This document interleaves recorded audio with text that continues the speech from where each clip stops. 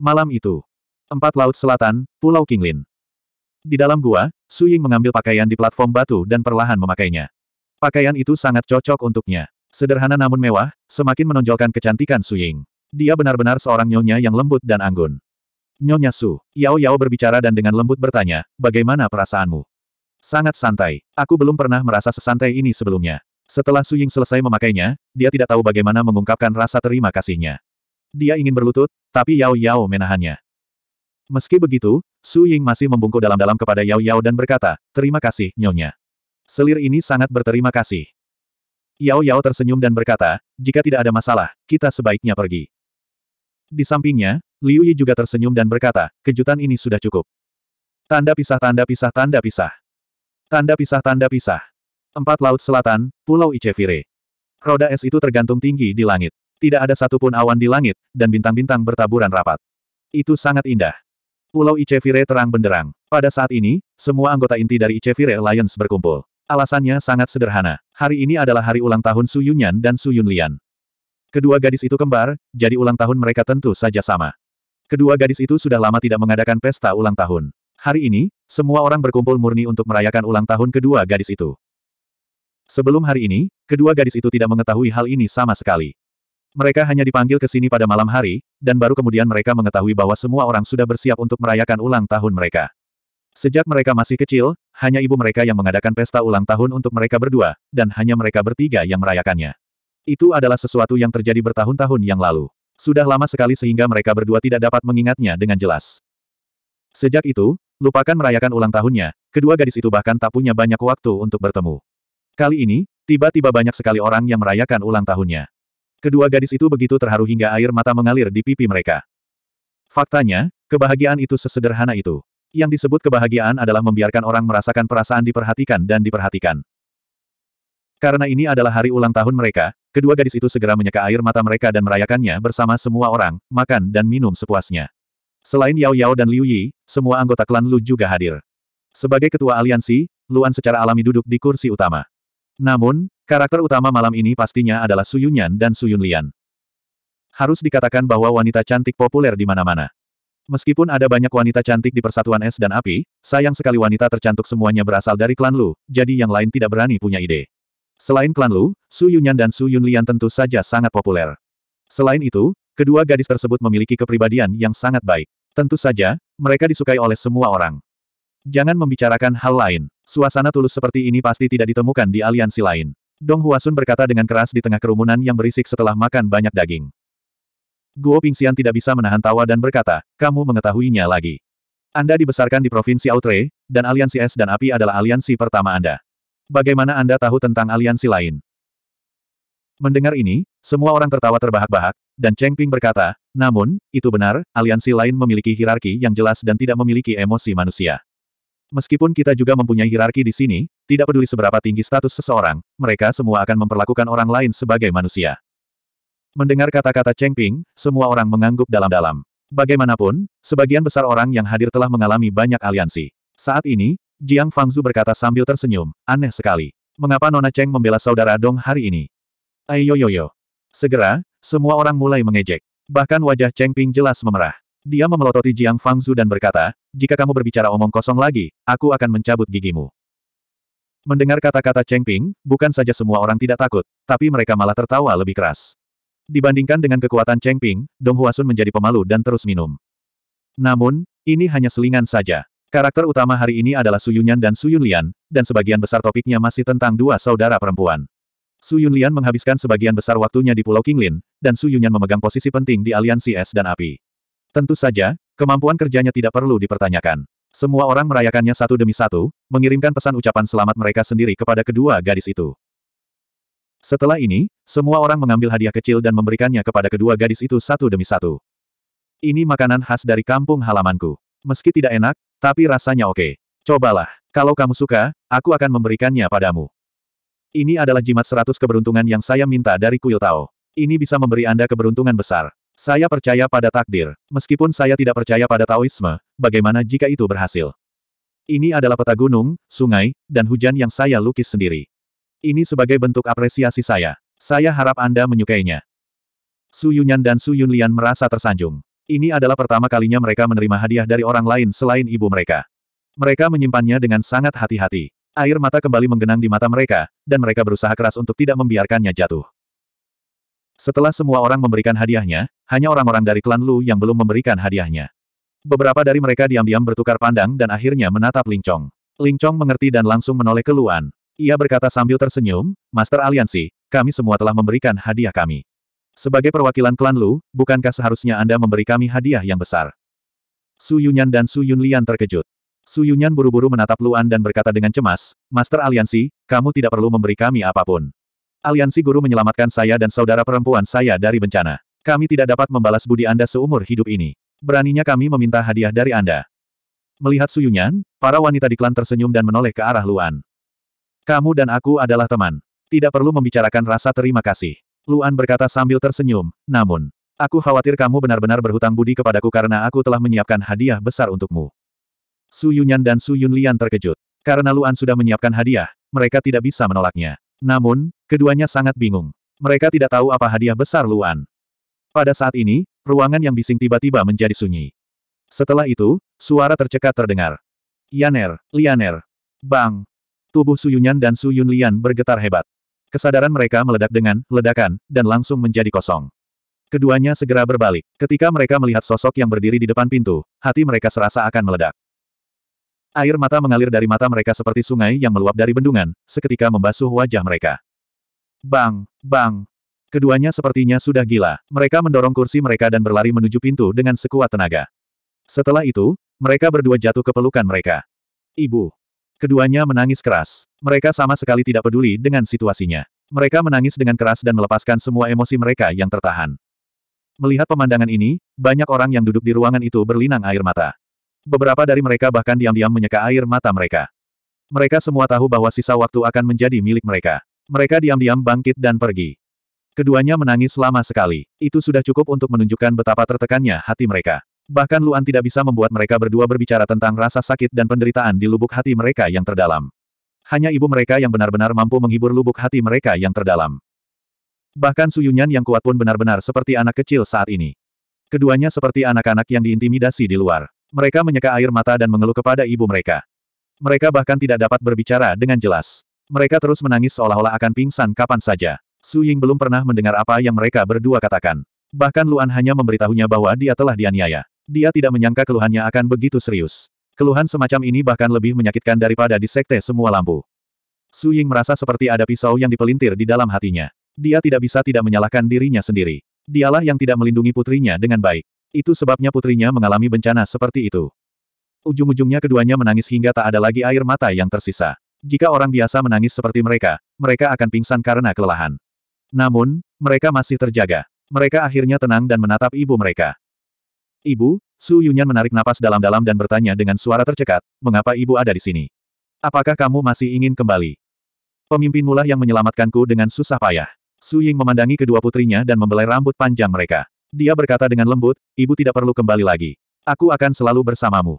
1952 Setelah semua orang meninggalkan rumah, anggota keluarga Lu menuju Pulau Abadi. Namun, saat Luan hendak pergi bersama semua orang, dia tiba-tiba melihat seseorang berdiri di dekat pagar di kejauhan. Setelah berpikir sejenak, dia meminta para wanita itu untuk kembali dulu. Dia berjalan ke pagar. Dari pagar itu, dia bisa melihat laut di selatan sejauh mata memandang. Saudara Bian, kata Luan, Apakah kamu ingat Nona Chuyue? Bian King Liu mengangguk. Dia memandang ke laut di kejauhan dan berkata, dia dan putranya melalui banyak hal dan akhirnya bersatu kembali. Saya tidak tahu kapan kita akan bertemu lagi. Luan menarik napas dalam-dalam. Chuyue berada jauh di wilayah laut paling selatan, yang sebenarnya merupakan wilayah terlarang bagi manusia. Wilayah laut utara kedua jauh lebih berbahaya dibandingkan wilayah laut paling selatan. Wilayah suku Singa Menyala dan suku Macan Langit berada di wilayah laut paling selatan, namun mereka hanya menempati satu wilayah seperti aliansi laut dalam. Bisa dibayangkan betapa berbahayanya itu. Saudara Bian, bagaimana kultivasimu? Lu An bertanya. Puncak level 7. Bian King Liu melihat tangannya, berhenti sejenak, dan berkata, saya selangkah lagi dari level 8. Lu An memandang Bian King Liu. Faktanya, kecepatan kultivasi Bian King Liu sangat cepat. Tahun ini, Bian King Liu baru berusia 23 tahun. Dengan bakat seperti itu, dia jelas merupakan talenta terbaik di sekte ini. Namun, yang lain hanya tahu bahwa Bian King Liu akan mencari Chu Yue setelah menjadi guru surgawi tingkat 8. Hanya Luan dan anggota keluarga Lu yang mengetahui bahwa Bian King Liu akan mengambil permata surgawinya setelah menjadi guru surgawi tingkat delapan. Permata surgawi dari klan Suanyin hanya dapat diambil oleh guru surgawi tingkat delapan tanpa mengalami kematian.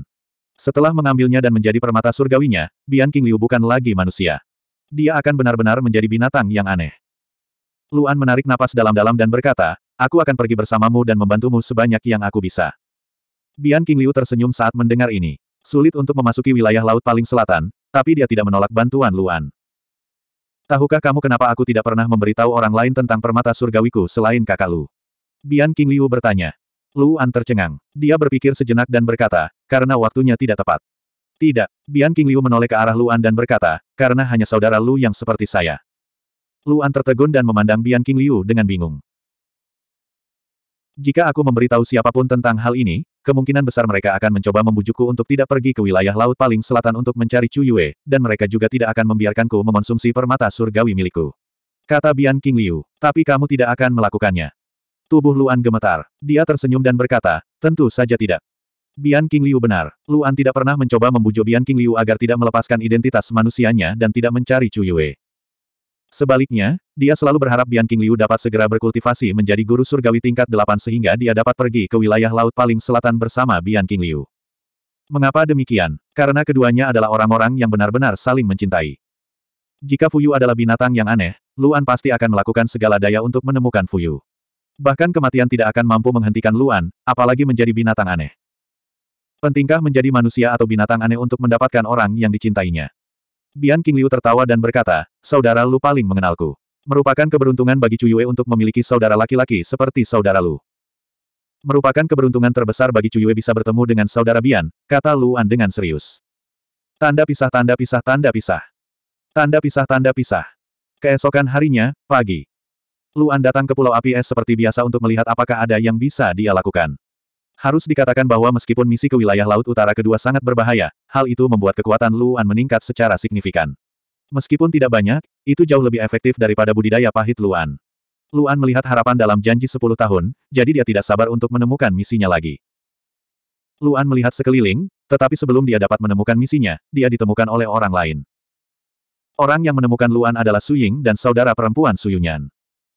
Bagaimanapun, Su Ying sudah muncul, jadi tidak perlu menyembunyikan banyak hal. Dong Huasun telah memberitahu mereka semua misi dan tindakan selama periode ini, yang membuat Su Yunyan terkejut. Pantas saja Su Yunyan selalu merasa semua orang sangat sibuk dalam setengah bulan terakhir, dan dia sering tidak bisa melihat sosok semua orang, hanya saja dia sangat bebas. Bahkan jika dia bertanya kepada pihak lain, mereka hanya akan mengatakan bahwa mereka sedang menjalankan misi khusus yang diberikan oleh Union Master. Dia bahkan curiga bahwa Union Master tidak mempercayainya. Ketika Su Yunyan mendengar bahwa Luan telah membawa orang ke wilayah Laut Utara kedua dua kali dan hampir kehilangan nyawanya, dia tersentuh. Ini adalah pertama kalinya Su Ying mendengar tentang bahaya ini, jadi mereka bertiga segera datang menemui Luan untuk mengungkapkan rasa terima kasih mereka. Ketiga wanita itu ingin berlutut di depan Luan, yang membuat Luan takut, yang sedang mencari misi. Dia dengan cepat menggunakan kekuatannya untuk mendukung ketiga wanita itu dan menghibur mereka. Namun, Liu Yi ingin berbicara dengan Su Ying tentang sesuatu. Luan tidak ada hubungannya, jadi dia langsung pergi mencari Liu Yi bersama ketiga orang itu, tapi dia hanya bisa mendengarkan. Apa yang ingin dilakukan Liu Yi sangat sederhana, yaitu menggali semua rahasia dari Myriad Light Sect. Su Ying secara alami akan memberitahunya semua rahasia dan hubungan sekte cahaya segudang sebanyak mungkin. Kemampuan Liu Yi untuk memahami informasi sangat kuat, jadi ketika dia mendengar Su Ying berbicara tentang sekte sembilan pedang, alisnya berkerut dan dia mengangkat tangannya. Tunggu. Liu Yi membuka mulutnya dan memandang Su Ying dan berkata, Nyonya Su berkata bahwa Wang Hong memiliki hubungan dengan Master Sekte dari Sekte Sembilan Pedang, hubungan apa ini? Setelah memikirkannya, Liu Yi berkata, saya tidak tahu apa-apa tentang Sekte Sembilan Pedang, jadi saya meminta Nyonya Su untuk memberitahu saya tentang mereka terlebih dahulu. Su Ying mengangguk dan berkata dengan serius, di dalam sekte, Sekte Sembilan Pedang dapat dianggap sebagai sekte yang relatif baru.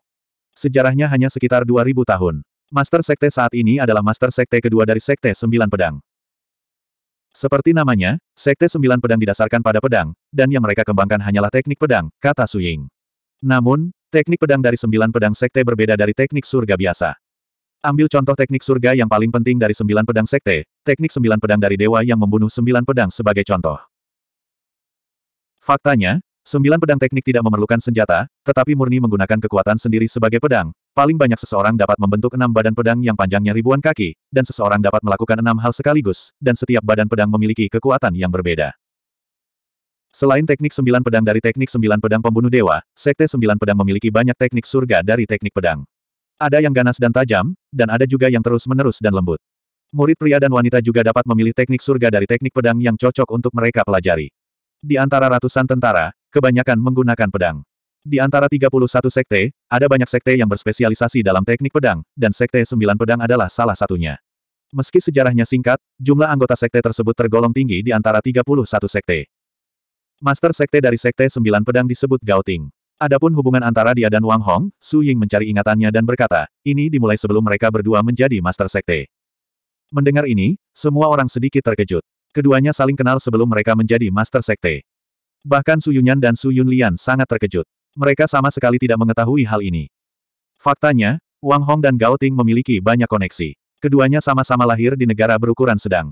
Karena bakat mereka yang luar biasa, mereka memasuki tanah suci negara tersebut untuk belajar kultivasi di usia muda. Mereka langsung menjadi murid sekte dalam, kata Su Ying. Dan karena mereka berdua masih sangat muda, maka murid-murid yang lain juga sudah sangat tua. Bahkan ada yang berusia di atas 100 tahun. Tidak mudah bagi mereka untuk bertemu dengan teman yang seumuran. Oleh karena itu, mereka berdua menjadi berteman dengan sangat cepat dan tumbuh bersama. Mendengar ini, Luan dan Liu Yi segera menarik napas dalam-dalam dan saling memandang dengan kaget. Tidak diragukan lagi, mereka berdua yang mampu menjadi master sekte dari dua sekte besar adalah master surgawi tingkat sembilan yang kuat. Tak perlu dikatakan lagi, bakat mereka pasti disukai oleh surga. Namun keduanya sebenarnya berasal dari tanah suci yang sama. Kemungkinannya sangat kecil sehingga tidak terbayangkan. Apalagi keduanya tumbuh bersama di usia yang sama. Persahabatan seperti itu sulit dibayangkan. Keduanya adalah sahabat di tanah suci, tapi mereka juga lawan. Su Ying melanjutkan, mereka bersaing satu sama lain dalam hal kekuatan, sehingga mereka tumbuh dengan sangat cepat. Keduanya menjadi guru surgawi tingkat tujuh sebelum usia 20 tahun. Setelah menjadi guru surgawi tingkat tujuh, Tanah Suci tidak dapat mempertahankan mereka, jadi mereka pergi satu demi satu untuk menjelajahi benua. Keduanya menjadi master surgawi tingkat delapan sebelum usia 30 tahun. Karena guru surgawi tingkat delapan harus memasuki sebuah sekte, keduanya masing-masing memasuki sekte cahaya segudang dan sekte sembilan pedang. Ketika dia berbicara sampai di sini, Su Ying berhenti sejenak dan berkata, Wang Hong secara pribadi memberitahuku bahwa sampai sekarang, dia akan berdebat dengan Gao Ting setiap beberapa tahun sekali untuk melihat siapa yang lebih kuat. Tidak hanya itu, di bawah kepemimpinan mereka berdua, Sekte Cahaya Segudang dan Sekte Sembilan Pedang juga bersaing satu sama lain untuk melihat siapa yang bisa berkembang lebih cepat dan lebih baik. Meskipun tampaknya Sekte Cahaya Segudang dan Sekte Sembilan Pedang tidak berhubungan baik satu sama lain dan selalu berselisih, dan bahkan para Master Sekte sering berdebat satu sama lain, nyatanya, persahabatan mereka berdua sangat erat. Bagus. Hanya saja demi muka, mereka tak mau saling meminta bantuan kecuali tak punya pilihan lain. Mendengar kata-kata Su Ying, alis Liu Yi menegang. Sekarang Sekte Cahaya Segudang diserang bersama oleh dua sekte besar, dalam menghadapi krisis seperti itu, mungkin. Wang Hong harus meminta bantuan Gao Ting.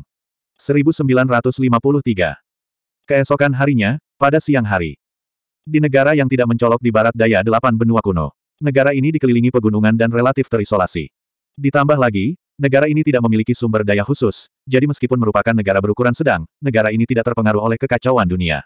Namun karena dunia sedang kacau, memang banyak pengungsi yang datang ke sini sehingga membuat negara ini semakin padat penduduknya. Pada saat ini, di sebuah kedai minuman yang tidak mencolok di kota kerajaan, dua orang sedang duduk di lobi, minum dan mengobrol. Meja itu penuh dengan lauk pauk, dan mereka minum banyak anggur.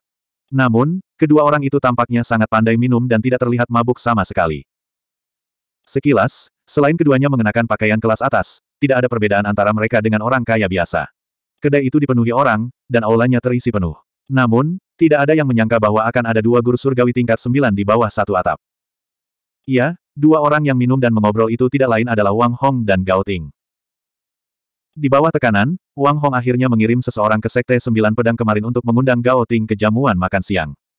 Namun, kedua orang itu tidak berbicara di sekte tersebut, tetapi di negara tempat mereka dilahirkan dan dengan santai menemukan sebuah kedai minuman untuk berbicara. Saudara Wang, Saudara Wang, bagaimana kamu bisa berakhir seperti ini? Sama seperti orang biasa, Gao Ting berkata sambil makan, karena kamu sudah sampai pada titik ini, peraturan sekte semua cahaya kamu benar-benar menjengkelkan. Sebaiknya kamu segera mengubahnya. Jangan melontarkan komentar sinis di sini. Wang Hong menyesap anggurnya dan berkata dengan wajah sedih, aturan dari sekte semua lampu telah lama berlaku. Ini adalah dasar dari sekte semua lampu. Bagaimana saya bisa mengubahnya? Jika saya mengubahnya, setidaknya setengah dari pria di sekte semua lampu akan pergi. Apa kau percaya itu? Iya, menurutku kamu tidak ingin mengubahnya, kata Gao Ting. Jangan bicarakan ini. Wang Hong menarik napas dalam-dalam, memandang Gao Ting dan berkata, bantu aku melewati masa sulit ini, oke. Okay. Gao Ting memandang Wang Hong dan menghela nafas tanpa daya. Dia mengangkat bahu dan berkata, oke, okay, tapi kamu harus mengambil sesuatu yang bisa memuaskan sekte sembilan pedang. Gao Ting meletakkan sumpitnya, menatap Wang Hong dan berkata dengan serius, meskipun aku adalah pemimpin sekte, sekte sembilan pedang bukanlah sepenuhnya milikku. Sejujurnya, reputasi sekte seribu cahaya sangat buruk hingga hampir menjadi sasaran kritik publik. Tidak ada yang mau terlibat dalam hal ini. Persahabatan kita adalah satu hal, tetapi sekte sembilan pedang adalah hal lain. Jika Anda ingin orang-orang saya membantu Anda, setidaknya Anda harus menawarkan hadiah yang masuk akal. Mendengar perkataan Gao Ting, bukan saja Wang Hong tidak marah, dia malah menghela nafas lega. Dia juga seorang pemimpin sekte, jadi dia memahami prinsip dan aturan ini. Dia tidak takut Gao Ting meminta apa pun, tapi dia takut Gao Ting tidak mau membantunya. Baiklah. Wang Hong segera mengangguk dan berkata, selama Sekte Sembilan Pedang dapat membantu Sekte Cahaya Segudang bertahan dari kesengsaraan ini, saya bersedia memberi Anda semua panduan pedang yang dikumpulkan oleh Sekte Cahaya Segudang serta hadiah yang murah hati. Sekarang dunia berada dalam kekacauan, Sekte Cahaya Segudang akan memenuhi permintaan apa pun dari Sekte Sembilan Pedang. Selama 200 tahun ke depan, setengah dari pendapatan Sekte Cahaya Segudang akan diberikan kepada Sekte Sembilan Pedang. Mendengar perkataan Wang Hong, Gao Ting juga sedikit tercengang. Dia tidak menyangka Wang Hong menawarkan begitu banyak keuntungan, dan itu memang sangat menggiurkan. Tampaknya Wang Hong benar-benar cemas sekarang, itulah sebabnya dia telah memikirkan masalah ini dengan jelas sebelumnya. Baiklah, Gao Ting mengangguk dan berkata, setelah makan, saya akan kembali dan mengumpulkan mereka untuk rapat. Dengan saya yang bertanggung jawab dan kondisi yang baik, kemungkinan besar mereka akan setuju. Sekalipun mereka tidak setuju, saya akan membuat mereka setuju. Saudara Wang, tunggu saja kabar saya.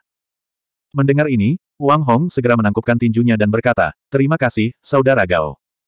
Tidak perlu ada hal ini antara kamu dan aku. Gao Ting melambaikan tangannya, berpikir sejenak dan berkata, namun, sebaiknya kita tidak bertarung dengan Sekte Dewa Seribu Pagoda dan Sekte Hujan Berkabut. Jika kita bisa bernegosiasi, kita harus mencoba berdamai. Jangan khawatir, tentu saja saya tahu. Saya akan berusaha semaksimal mungkin untuk berdamai. Wang Hong mengerutkan kening dan berkata, sebenarnya, Sekte Ilahi Seribu Pagoda mudah untuk ditangani. Bagaimanapun, mereka berhutang budi padaku sekarang. Masalah utamanya adalah Misty Rain.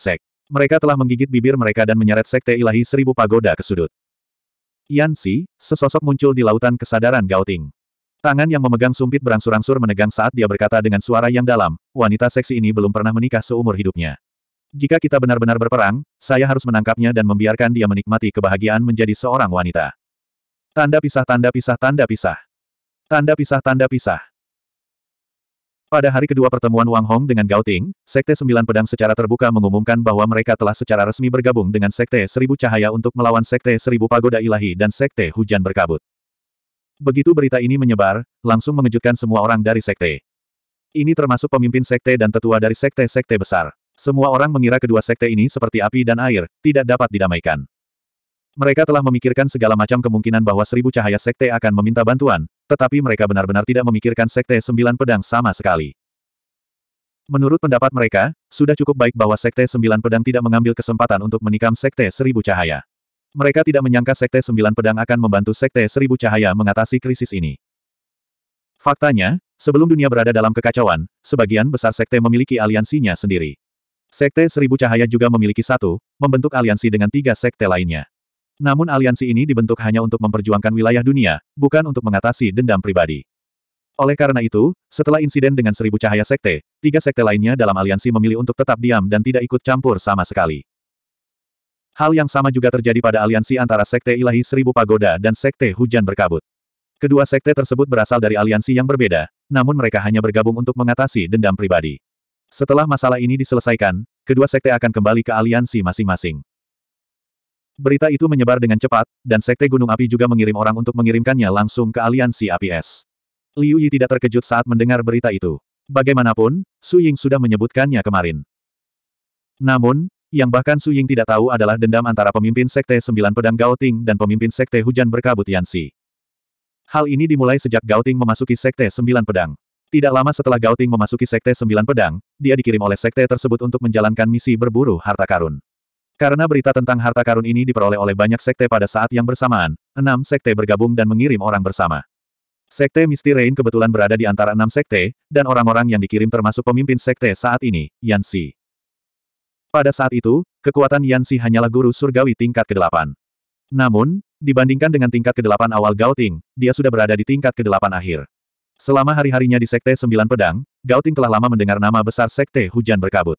Dia juga tahu bahwa Misty Rain Sekte selalu lebih menyukai wanita daripada pria, dan para wanita sangat bangga. Gauting sangat bejat, tapi dia berbeda dari Wang Hong. Gao Ting tidak suka berkompromi, juga tidak suka mengejar kuantitas. Sebaliknya, dia suka menjinakkan wanita yang sombong. Pada pandangan pertama, dia menyukai wanita tercantik di grup, Yanxi. Mata Yanxi adalah yang paling dingin dan sombong. Setelah mengetahui bahwa Yanxi sebenarnya adalah putri pemimpin Sekte Misty Rain, dia semakin bertekad untuk mengejarnya. Kekuatan Yanxi tinggi, dan statusnya tinggi. Gao Ting tentu saja tidak bisa memaksakan diri padanya. Namun, Gao Ting sangat sabar. Dia mulai menunjukkan niat baik pada Yanxi. Selama misi, dia berusaha tampil di depan Yanxi sebanyak mungkin, dan membiarkan dirinya berada di dekatnya. Menurutnya, wanita yang sombong belum tentu kebal, dan sering kali mereka sangat mudah ditembus. Namun, dia salah besar. Pada hari terakhir misi, Gauting berpikir dia pasti akan mengaku pada Yanxi. Namun, dia tidak menyangka akan ditolak di depan umum oleh Yanxi, dan bahkan dipermalukan di depan umum. Jika kamu bercermin dan melihat betapa bodohnya dirimu, kamu tidak akan berani mengucapkan kata-kata ini kepadaku. Dengan kekuatanmu, kamu ingin menikah denganku. Dua kalimat ini paling menyakiti hati Gao Ting. Itu juga disebarkan dan diejek oleh sekte lain ketika mereka kembali. Bertahun-tahun kemudian, lebih dari sepuluh sekte mengadakan kompetisi bersama. Sekte Sembilan Pedang dan Sekte Hujan Berkabut ada di antara mereka. Kompetisi ini dianggap sebagai pertukaran persahabatan, dan juga untuk mendorong orang-orang di sekte masing-masing agar bekerja lebih keras dalam budidaya mereka. Saat itu, banyak tetua yang berpartisipasi, dan Gao Ting serta Yan Si kebetulan mendaftar. Saat itu, Kekuatan Gauting sudah berada di tahap akhir level ke-8, sedangkan kekuatan Yanxi berada di puncak level ke-8. Secara kebetulan, sebagai lawan, Gauting dan Yanxi bertemu di babak pertama. Kejadian itu sudah lama terjadi, namun Gauting masih mengingatnya dengan jelas di dalam hatinya. Yanxi masih memandang Gauting dengan tatapan merendahkan, dan bahkan memandangnya dengan jijik. Melihat ini, Gauting menjadi semakin marah dan mulai menyerang Yanxi dengan ganas. Namun, hasil akhirnya sudah jelas. Gao Ting masih kalah, dan kalah dengan sangat cepat. Itu adalah kekalahan yang sangat memalukan. 1954 Pada pertandingan tersebut, bisa dikatakan Gao Ting telah dikalahkan dengan sangat telak oleh Yanxi. Itu sangat buruk. Faktanya, kekuatan Yanxi jauh lebih tinggi daripada Gao Ting. Selain itu, roda nasib Sekte Hujan Berkabut sangat kuat dan Gao Ting belum sepenuhnya menguasai sembilan pedang dewa. Ada kesenjangan besar antara kekuatan mereka. Meski begitu, Yanxi sangat kejam. Dia tidak memberikan wajah apa pun pada Gao Ting. Seolah-olah dia sangat membencinya. Setelah pertempuran, Gao Ting benar-benar terbawa suasana. Dia harus berbaring di tempat tidur selama dua bulan penuh saat menerima perawatan. Cukup untuk melihat seberapa serius lukanya. Dia hampir dipukuli sampai mati. Tentu saja, ini juga karena kekeras kepalaan Gao Ting. Dia lebih baik mati daripada mengaku kalah. Jika dia tidak menyerah, Yanxi akan punya alasan untuk melanjutkan pertarungan. Setelah dua kejadian ini, bisa dikatakan Gao Ting benar-benar berselisih dengan Yanxi. Gagasan untuk menaklukkan Yanxi mulai berakar, dan dia bahkan tidak menyembunyikan pikirannya. Banyak sekte yang mengetahui masalah di antara keduanya. Kemudian, keduanya menjadi guru surgawi tingkat sembilan. Setelah bertahun-tahun, keduanya menjadi pemimpin sekte. Kejadian ini benar-benar dibesar-besarkan dan dianggap sebagai pertunjukan yang bagus. Keduanya adalah master surgawi tingkat sembilan. Bahkan jika Yanxi memiliki roda takdir, sulit untuk mengatakan siapa yang akan menang. Guru surgawi tingkat sembilan adalah alam yang sangat ajaib. Tidak ada pembagian wilayah. Atau lebih tepatnya, hingga saat ini, belum ada seorang pun yang menemukan patokan sebenarnya untuk guru surgawi tingkat sembilan. Gao Ting akhirnya sejajar dengan Yanxi. Namun, dia telah menekan kebencian dan keinginan di dalam hatinya selama bertahun-tahun. Kali ini, dia akhirnya punya kesempatan. Pada saat ini, di Misty Rain Sect. Bang! Yanxi, yang baru saja menerima berita itu, membanting meja. Wajahnya berubah menjadi hijau. Dia tidak pernah berpikir bahwa sembilan pedang sekte akan ikut campur pada saat yang begitu penting. Gao Ting ini selalu menyebalkan. Selama bertahun-tahun, Gao Ting menentangnya, yang membuatnya sangat kesal. Sekarang, dia ada di sini untuk membuat masalah. Jika dia tahu ini akan terjadi, dia akan langsung membunuhnya selama kompetisi. Yan Yue, wakil pemimpin sekte dari Misty Rain Sect, memandang pemimpin sekte itu. Sebagai guru surgawi tingkat sembilan, dia tidak akan takut dengan aura Yanxi. Dia berkata, pemimpin sekte, sekarang sekte sembilan pedang telah ikut campur, apa yang harus kita lakukan selanjutnya? Apakah kita masih harus berjuang? Yansi mengerutkan kening. Aliansi antara Sekte Seribu Cahaya dan Sekte Sembilan Pedang tiba-tiba menyeimbangkan situasi antara kedua belah pihak. Meskipun dia membenci Gao Ting, dia harus mengakui bahwa kekuatan keseluruhan dari Sekte Sembilan Pedang tidak jauh berbeda dengan Sekte Hujan Berkabut. Melihat penampilan diam Yan Xi, Yan Yue berbicara lagi, yang berdaulat, menurutku kita tidak perlu bertarung sampai mati. Tubuh Yan Xi bergetar saat dia menoleh ke arah Yan Yue dengan cemberut. Yan Yue tidak takut dan melanjutkan, dunia sedang dalam kekacauan, dan akan ada banyak waktu di masa depan. Kita memiliki banyak kesempatan untuk menangani Sekte Wan Guang. Mengapa kita terburu-buru? Kami telah membunuh banyak tetua dan murid dari Myriad Light Sect. Kami telah memenangkan kembali wajah kami. Jika kami mengambil kesempatan ini untuk meminta kompensasi, tidak ada yang akan menertawakan kami karena hal ini. Membasmi seluruh klan demi satu orang bukanlah sesuatu yang masuk akal. Yanxi mengepalkan tangannya dan menatap Yan Yue. Setelah beberapa saat, dia berkata, bagaimana dengan reputasi Tao Tao? Jika kita tidak bergerak, bagaimana jika orang-orang dalam kegelapan menyebarkan berita tersebut? Masalah ini tidak bisa disembunyikan. Yan Yue berkata dengan tenang, semua anggota klan tahu bahwa Tao Tao lah yang mengalami kecelakaan. Cepat atau lambat, berita itu akan menyebar. Bisa dilindungi untuk sementara, tapi tidak bisa dilindungi selamanya. Apalagi Tao sendiri tidak terlalu peduli dengan pendapat dunia luar. Dia juga menyarankan Sovereign untuk tidak mengambil tindakan untuknya. Mengapa Sovereign harus begitu keras kepala? Ekspresi Yanxi marah, tapi ada juga emosi yang rumit. Faktanya, hubungan antara Yanxi dan Yan Yue tidak buruk, tapi sepertinya mereka tidak terlalu dekat. Kekuatan Yanxi berada di atas Yan Yue, namun dari segi karakter dan strategi, dia tidak sebaik Yan Yue. Bahkan ketika Ibu Yanxi menyerahkan posisi itu kepadanya, dia berulang kali mengatakan bahwa dia harus menerima pendapat Yan Yue. Oleh karena itu, meski dalam kemarahan, Yanxi masih bisa mendengarkan kata-kata Yan Yue. Melihat tatapan Yanxi yang jelas-jelas tidak mau, Yan Yue mengangkat bahu tak berdaya dan berkata, jika Sovereign bersedia melepaskannya, saya bisa memberitahu Sovereign hal lain. Yanxi tertegun dan bertanya sambil mengerutkan kening, ada apa? Siapa yang menyelamatkan tahu-tahu? Yan Yue berkata, awalnya, tidak ada petunjuk tentang masalah ini, tapi sejak Su Ying menghilang, situasinya menjadi sangat jelas. Keberadaan Su Ying hanya dapat ditemukan di tiga tempat, Sekte Seribu Menara Ilahi, Sekte Seribu Cahaya, dan Persatuan Api Es. Yan Yue mengangkat tiga jari dan berkata, Sekte Seribu Menara Ilahi tidak perlu membunuh atau memenjarakan Su Ying. Setidaknya sebelum melakukan hal semacam ini, mereka akan mendiskusikannya dengan kami terlebih dahulu, jadi kemungkinannya tidak besar. Dalam masa krisis seperti ini, tidak ada alasan bagi Sekte Semua Cahaya untuk secara paksa membangkitkan kebencian dan menjadikan hubungan yang semula mereda dengan Sekte Ilahi Seribu Pagoda menjadi serius lagi, jadi kemungkinannya tidak besar. Yan Yue berhenti, hanya menyisakan jari terakhir yang terentang, dan berkata, jadi. Yanxi semakin mengerutkan keningnya, menarik napas dalam-dalam dan berkata, maksudmu Ice Fire Union yang menyelamatkannya. Kemungkinan besar, kata Yan Yue. Ada satu hal lagi, setiap kali sumber berita tersebar dari empat kerajaan besar. Meskipun sekte mungkin melakukan ini untuk menyembunyikan sumber berita, mungkin juga pihak lain tersebut bukan anggota dari empat kerajaan besar. Sekte sama sekali. Hanya saja, kami tidak memiliki bukti apa pun. Yan Yue mengangkat bahu dan berkata, bahkan jika Ice Fire Union adalah yang paling mungkin, itu hanya bisa dianggap sebagai tebakan. Namun, jika ini benar-benar terjadi, Ice Fire Union menyelamatkan Tau, tapi kami dengan paksa menarik mereka masuk dan membunuhnya dengan pisau pinjaman. Tidak peduli bagaimana kamu melihatnya, itu tidak masuk akal itu sepenuhnya membalas kebaikan dengan permusuhan. Yanxi semakin mengerutkan keningnya. Persatuan Api Es menyelamatkan Tau Tau. Luan menyelamatkan Tau. Sejujurnya, dia tidak mau mempercayainya sama sekali. Mengapa Ice Fire Union menyelamatkannya? Apakah mereka punya dendam terhadap Sekte Seribu Lampu? Yanxi bertanya dengan suara yang dalam. Saya mendengar bahwa keluarga Lu telah diserang, dan dikatakan bahwa hal itu dilakukan oleh orang-orang di Sekte. Yan Yue berkata, jika Sekte ini adalah Sekte Seribu Cahaya, maka semuanya masuk akal. Mendengar ini, Yan Xi terdiam sepenuhnya. Setelah sekian lama, dia perlahan duduk kembali di kursi. Setelah sekian lama, dia menarik napas dalam-dalam, menoleh ke arah Yan Yue lagi, dan bertanya, lalu menurutmu apa yang harus kita lakukan sekarang? Bernegosiasi dengan Sekte Seribu Lampu, biarkan mereka membayar kompensasi, dan kemudian meminta maaf secara terbuka kepada kami. Yan Yue berkata, adapun persatuan es dan api. Saya sarankan kita mengundang Luan untuk datang lagi. Master Sekte, Anda tidak perlu muncul. Biarkan saya dan tahu-tahu muncul. Mungkin kita bisa menemukan beberapa petunjuk dan kekurangan. Jika memang Ice Fire Union yang menyelamatkannya, kita harus mengucapkan terima kasih. Mendengar perkataan Yan Yue, sejujurnya, Yan Si benar-benar tidak ingin melakukan ini. Namun, dia juga merasa bahwa sekarang dia berada dalam situasi yang sulit, begitu pula dengan Sekte Hujan Berkabut. Dia harus membuat pilihan. Oke. Setelah sekian lama, Yan Si akhirnya mengangguk dan berkata, kami akan melakukan apa yang Anda katakan. Yan Yue tersenyum, bangkit dan berkata, kalau begitu saya akan meminta orang-orang untuk membuat persiapan. Anda tidak perlu hadir untuk negosiasi dengan Sekte Seribu Lampu. Anda hanya perlu tenang dan serahkan sisanya kepada saya. Yansi mengangguk dan berkata, baiklah.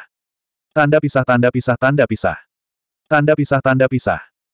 Tiga hari berikutnya dapat digambarkan sebagai pergantian peristiwa, yang kembali mengejutkan semua sekte. Semua sekte mengira bahwa perang sekte pertama setelah dunia berada dalam kekacauan akan segera dimulai. Mereka semua menunggu untuk menonton pertunjukan yang bagus. Namun, mereka tidak menyangka keempat sekte tersebut tiba-tiba duduk untuk bernegosiasi, bahkan berjabat tangan dan berdamai. Kondisi Misti Rain Sek benar-benar kejam. Meski begitu, Sekte Seribu Lampu harus menelan kemarahan ini. Sekte Sembilan Pedang telah mendapatkan cukup banyak wajah karena mereka tidak bertarung. Gao Ting juga tidak meminta banyak keuntungan dari Wang Hong, jadi Wang Hong memiliki kekuatan untuk menyetujui persyaratan Misty Rain Sect. Kompensasi yang besar dan permintaan maaf publik. Agar masalah ini cepat berlalu, Sekte Seribu Lampu menyetujui semuanya dalam waktu tiga hari dan menyelesaikan semuanya. Pada titik ini, keluhan antara Sekte Seribu Cahaya, Sekte Seribu Menara Ilahi, dan Sekte Hujan Berkabut telah berakhir. Meski Sekte Seribu Lampu tidak hancur, namun sebenarnya sangat menyedihkan. Korbannya tak terhitung jumlahnya, wilayah luar mereka dibersihkan, dan mereka harus membayar mahal. Bisa dikatakan vitalitasnya sudah rusak dan butuh waktu lama untuk pulih. Dalam waktu singkat, Sekte Seribu Lampu tidak memiliki kualifikasi apa pun untuk membuat gelombang. 1955 Pagi selanjutnya. Persatuan Api Es juga menerima berita tentang empat sekte. Ketika mereka mendengar bahwa keempat sekte telah berjabat tangan dan berdamai, mereka merasa kecewa. Untuk persatuan Api Es, mereka secara alami berharap bisa melawan dan mengalahkan Sekte Seribu Lampu dengan sangat buruk sehingga mereka tidak akan pernah bisa mengangkat kepala lagi. Hasil saat ini jelas bukan apa yang mereka harapkan. Tapi bagaimanapun juga, situasi saat ini sudah cukup. Sekte Seribu Lampu juga telah membayar harga yang sangat tinggi. Sekte Seribu Lampu yang rusak parah mungkin memerlukan waktu untuk pulih. Dengan masalah internal dan eksternal, mereka tidak akan mempunyai waktu luang untuk menemukan masalah dengan Ice Fire Union. Saat ini, Luan juga berada di markas. Liu Yi tahu bahwa dia tidak bisa tinggal diam, jadi dia mengambil inisiatif untuk mencarikan sesuatu untuk dia lakukan. Dia memintanya untuk membunuh beberapa orang dengan identitas Blacklight. Tapi saat Luan hendak memakai topeng dan pergi, Cheng Ping tiba-tiba muncul di halaman. Hanya anggota inti yang bisa memasuki halaman ini, jadi Cheng Ping datang untuk menyampaikan pesan. Dia segera berkata, Yan Che dari Misty Rain Sek ada di sini lagi. Luan dan Liu Yi sama-sama tercengang. Luan memandang Liu Yi. Liu Yi mengerutkan kening dan berkata, biarkan dia masuk. Iya, Cheng Ping segera pergi. Luan juga mengganti pakaian hitamnya dan pergi ke halaman samping bersama Liu Yi untuk menemui tamu tersebut. Segera, Yan Che memasuki bagian dalam pulau api es dan sampai ke halaman samping. Luan dan Liu Yi berdiri untuk menyambutnya. Mereka memperlakukannya dengan sopan dan mengundangnya untuk duduk. Yan Jianmu, apa yang bisa aku bantu kali ini? Liu Yi duduk di ujung meja dan bertanya. Yan Che secara alami tahu bahwa Liu Yi adalah pemimpinnya, tapi dia sama sekali tidak menganggap tinggi Liu Yi. Sebaliknya, dia berkata kepada Luan, pemimpin sekte mengundangmu ke jamuan makan besok malam. Dia mengundangmu untuk ngobrol. Luan sedikit mengernyit dan berkata, saya tidak bisa memutuskan apakah saya bisa pergi atau tidak. Saya harus mendengarkan pemimpinnya. Mendengar ini, Yan Che terkejut. Wajahnya jelas menegang. Namun, perintah ini diberikan secara pribadi oleh wakil pemimpin sekte. Dia tidak bisa mengabaikannya. Dia hanya bisa menekan ketidaksenangan di hatinya dan menoleh ke Liu Yi. Apa pendapat aliansi Liu? Senyuman di wajah Liu Yi telah menghilang. Dia meletakkan tangannya di pegangan dan menopang pipinya. Dia berkata dengan ringan, kita bisa pergi, tapi kita harus pergi bersama. Luan tertegun dan memandang istrinya dengan heran. Yan Che bahkan lebih terkejut lagi. Dia sedikit mengernyit dan berkata, Master Sekteku hanya mengundang aliansi Master Lu. Aku sudah bilang itu perlu. Jika kamu tidak mengubah keputusanmu, dia tidak bisa pergi. Yan Che kemudian melihat ke arah Luan, hanya untuk melihat Luan merentangkan tangannya sedikit, menunjukkan bahwa dia tidak bisa membuat keputusan. Kerutan di dahi Yan Che semakin dalam. Wakil pemimpin sekte hanya mengatakan bahwa Luan boleh pergi. Dia tidak mengatakan bahwa orang lain tidak bisa datang. Memikirkan hal itu, Yan Che hanya bisa menelan amarahnya. Dia berkata kepada Liu Yi, oke, aku akan menunggu kalian berdua besok malam. Luan tersenyum dan berkata, terima kasih. Yan Che tidak tinggal dan meninggalkan pulau Ichevire. Setelah Yan Che pergi, Luan memandang Liu Yi dan bertanya, mengapa kamu pergi? Tentu saja aku mengkhawatirkan suamiku. Liu Yi tersenyum dan berjalan ke sisi Luan. Dia duduk dan berkata, saya khawatir suami saya akan jatuh ke dalam perangkap orang lain.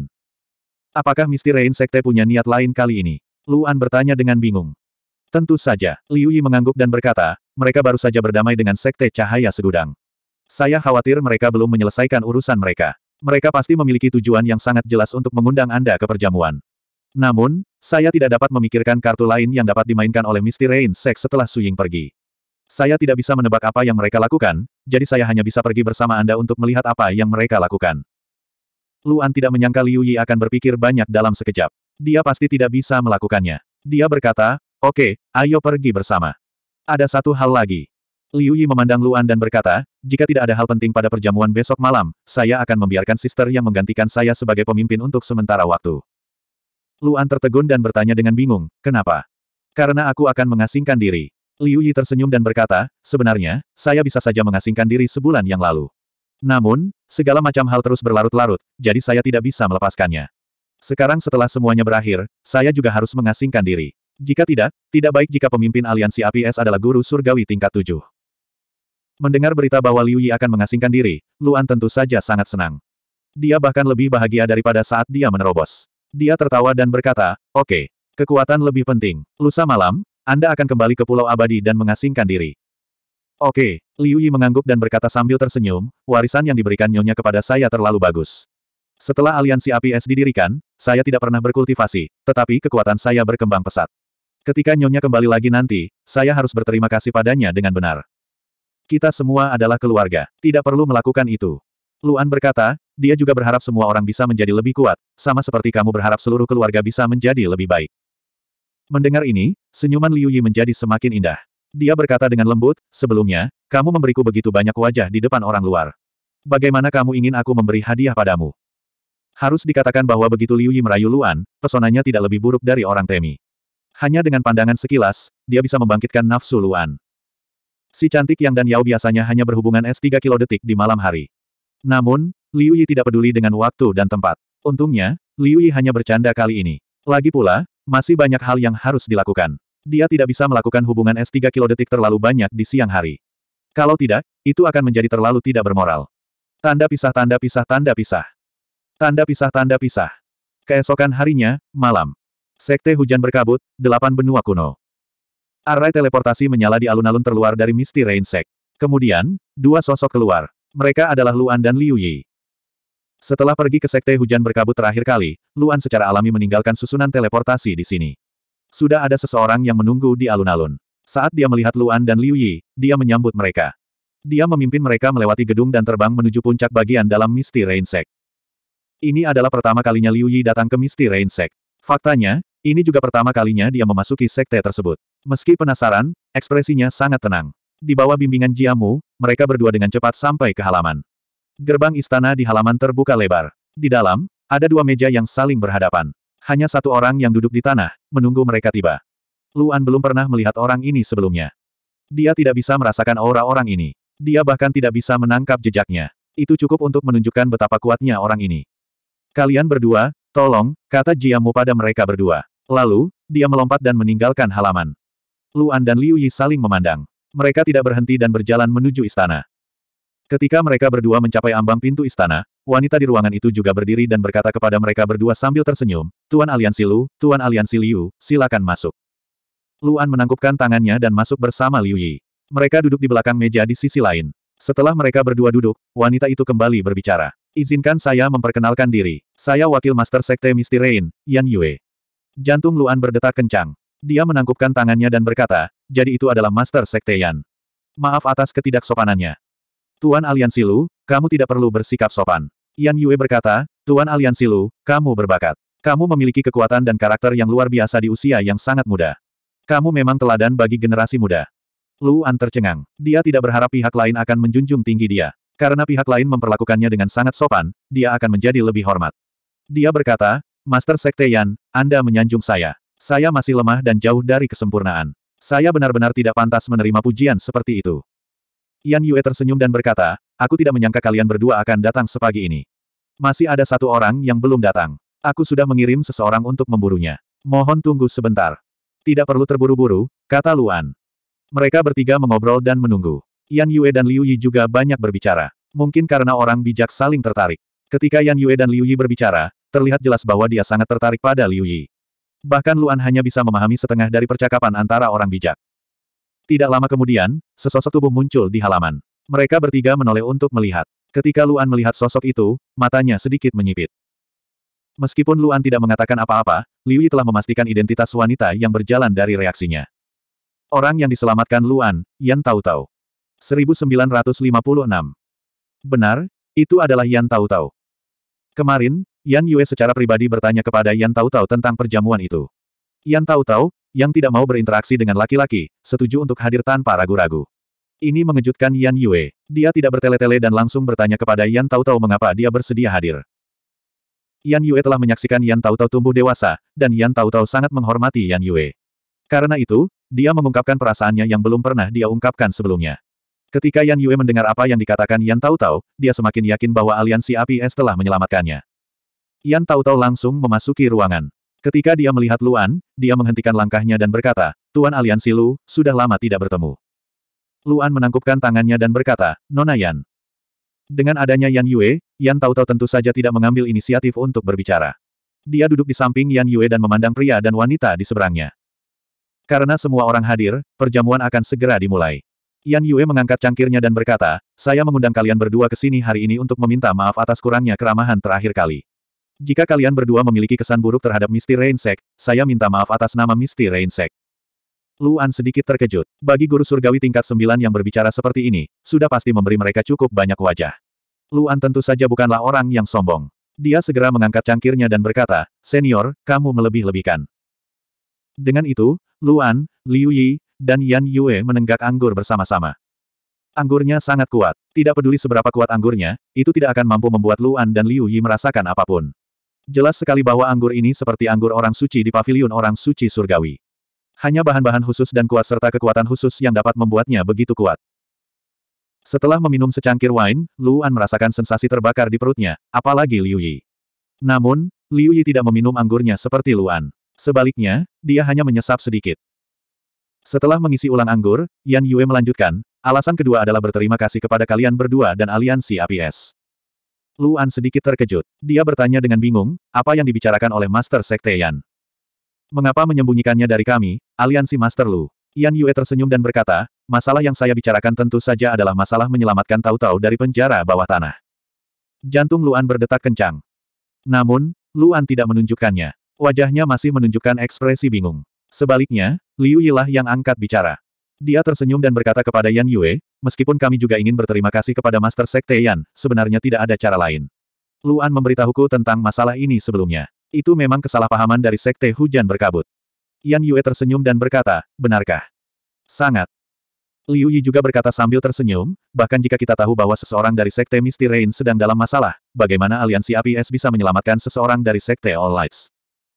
Mendengarkan percakapan keduanya, Luan mempertahankan ekspresi bingung. Yan tahu-tahu tidak mengatakan apa pun dan terus menatap Luan. Luan tidak bisa menghindari tatapannya dan hanya bisa menatap Yan tahu-tahu. Saat Yan Yue dan Liu Yi sedang berbicara, Yan tahu-tahu tiba-tiba berbicara. Perasaanku tidak mungkin salah. Yan tahu-tahu memandang Luan dan berkata dengan serius, bentuk tubuh dan matamu, kamu pastilah orang yang menyelamatkanku hari itu. Kata-kata Yan tahu-tahu sangat kuat dan jelas tidak ada keraguan. Hati Luan menegang saat mendengar itu, tapi dia berkata sambil tersenyum pahit, jika Nona Yan berpikir begitu, aku tidak bisa berbuat apa-apa. Aku hanya malu menerimanya. Mendengar kata-kata Luan, Yan tahu-tahu mengertakkan gigi. Mata pria ini bisa saja dipalsukan untuk sementara, tapi tidak bisa dipalsukan selamanya. Dia sudah sangat yakin bahwa dialah orang yang menyelamatkannya, tetapi orang ini masih berdalih. Jadi bagaimana jika dia mengakuinya? Dia hanya akan berterima kasih. Mungkinkah dia akan memakannya? Kenapa rasanya dia menyelamatkannya, tapi dia tidak berani mengakuinya seolah-olah dia telah menyelamatkan iblis? Saat ini, Yan Yue berbicara lagi. Tuan Aliansi Liu, Anda dan saya sama-sama orang pintar. Anda seharusnya bisa melihat bahwa saya tidak punya niat buruk. Yan Yue tersenyum dan berkata, mengenai apakah Ice Fire Alliance menyelamatkanmu atau tidak, aku tidak ingin menyelidikinya. Meskipun itu bukan aliansi APS, aku sudah menyiapkan hadiah untukmu. Mohon diterima. Liu Yi terdiam selama dua tarikan napas lalu berkata sambil tersenyum, oke. Okay. Senyuman Yan Yue menjadi lebih besar. Dia hendak mengangkat cangkirnya dan minum bersama Liu Yi. Namun, pada saat ini, Yan tahu-tahu tiba-tiba berbicara. Karena gempa bumi di barat daya empat laut selatan, sebuah harta karun telah muncul. Banyak sekte telah menerima berita tersebut dan mengirim orang ke pos di sana. Yan tahu-tahu menatap Luan dan berkata dengan cepat, saya ingin tahu apakah Ice Fire Alliance ingin mendapat bagiannya. Barat daya empat laut selatan. Luan dan Liu Yi tercengang. Empat laut selatan terlalu besar, sama seperti delapan benua kuno. Aliansi APS terletak di selatan garis tengah empat laut selatan, yang sangat jauh dari barat daya. Masuk akal jika mereka memiliki beberapa informasi yang tidak mereka ketahui. Selain itu, gempa bumi besar telah terjadi di empat laut selatan, dan banyak harta karun muncul di sana. Harta yang bisa membuat sekte memperhatikan pasti lebih besar dari yang didapat aliansi APS terakhir kali. Namun, meski mereka tahu ada harta karun, mereka harus memiliki kekuatan untuk memperjuangkannya. Luan menggelengkan kepalanya dan berkata, aliansi APS terlalu lemah untuk bersaing dengan sekte lain. Kami tidak berani menyentuhnya. Yan Yue berpikir sejenak dan segera berkata, aliansi APS memang lemah, tapi Master Aliansi Lu bisa membawa orang untuk bergabung dengan sekte hujan berkabut. Saat kita mendapatkan harta karun, kita bisa membagi 30% dengan Ice Fire Alliance. Bagaimana tentang itu? Terima kasih atas kebaikan Anda, Master Sekte Yan, Luan menangkupkan tangannya dan berkata, aliansi APS terlalu lemah. Kami tidak berani terlibat dalam urusan sekte. Yan Yue secara alami memahami bahwa aliansi APS ingin melindungi diri mereka sendiri. Dia berpikir sejenak dan berkata, kalau begitu aliansi Master Lu bisa membawa orang ke sana. Selama kamu tidak memperebutkan harta karun, sekte lain tidak akan menyerangmu. Cepat atau lambat, aliansi Master Lu akan ada hubungannya dengan sekte. Anda dapat memanfaatkan kesempatan ini untuk membedakan antara kawan dan lawan. Tidak ada ruginya mengetahui lebih banyak sekte. Mendengar perkataan Yan Yue, Luan ingin menolak lagi. Namun, pada saat ini, sebuah suara muncul di Divine Sense-nya. Kita dapat pergi. Luan terkejut dan menoleh untuk melihat Liu Yi. Liu Yi juga sedang menatapnya. Mengapa? Luan bertanya dengan rasa ilahinya. Dia benar, karena kamu menjadi guru surgawi tingkat delapan, kami memenuhi syarat untuk menghubungi sekte. Kami tidak perlu melindungi diri kami sendiri secara membabi buta. Liu Yi berkata, harta karun ini muncul di empat laut selatan. Tidak mengherankan jika kita mendapat beritanya. Tidak ada perselisihan, tidak ada kerukunan. Kita juga bisa melihat sekte mana yang bisa kita sekutu dan sekte mana yang ditakdirkan menjadi musuh. Mendengar perkataan istrinya, Luan sedikit mengernyit. Sejujurnya, dia merasa itu sangat beresiko. Namun, karena dia menyerahkan aliansi APS kepada Liu Yi, dia tidak akan ikut campur secara paksa. Apa yang Luan tidak ketahui adalah bahwa sebelum dia pergi mencari jantung bumi dan roh air mata bunga, apa yang dia katakan kepada Liu Yi berdampak besar padanya. Budidaya normal tidak bisa membiarkan Luan tumbuh untuk melawan pemimpin klan, dan perkembangan normal tidak bisa membiarkan aliansi APS berkembang untuk melawan klan Hachiko. Oleh karena itu, Liu Yi menghentikan pembangunan yang stabil dan lebih bersedia mengambil risiko. Luan menarik napas dalam-dalam dan menoleh ke Yan Yue. Dia menangkupkan tangannya dan berkata, Oke, okay, aliansi APS akan pergi, tapi kami tidak akan mengganggu harta karun itu. Yan Yue tersenyum dan berkata, terserah Master Aliansi Lu untuk memutuskan. Tidak ada orang lain yang berhak ikut campur. Mereka berempat terus makan malam bersama. Selanjutnya, mereka membicarakan beberapa topik yang tidak relevan. Setelah sekitar dua jam, Luan dan Liu Yi pergi.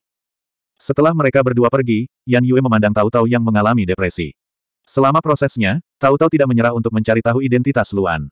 Namun, dia tidak berhasil, yang membuat Yan Yue merasa sedikit tertekan. Beberapa hal tidak perlu dikonfirmasi oleh orang lain. Yan Yue berkata sambil tersenyum, sama seperti beberapa hal, meskipun orang lain membuat janji, itu mungkin tidak benar. Tubuh Yan tahu-tahu bergetar. Dia segera menatap Yan Yue dan berkata, maksudmu? Orang yang menyelamatkanmu memang Luan. Yan Yue berkata, inilah yang dikatakan Liu Yi kepadaku. Yan tahu-tahu kembali terkejut saat mendengar ini. Dia segera bertanya, kapan?